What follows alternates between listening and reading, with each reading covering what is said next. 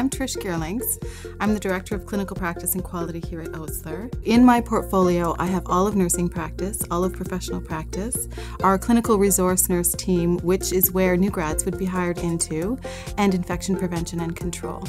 We at Osler have embraced a partnership with Humber students. A lot of our placements are filled by Humber students. What they get from us is that extra going beyond experience.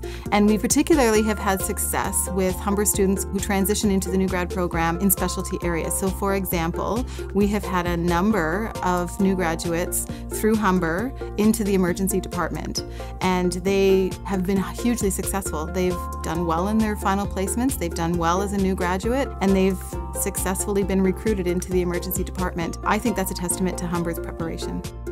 It's a volume of things to be uh, a professional, both personally and professionally. Being professional means that you are being ethical, that you're making ethical decisions, you practice to a standard of excellence that goes beyond. We want you to embrace all that Osler embraces in our value system, and that does mean being on time and dressing appropriately, and being safe.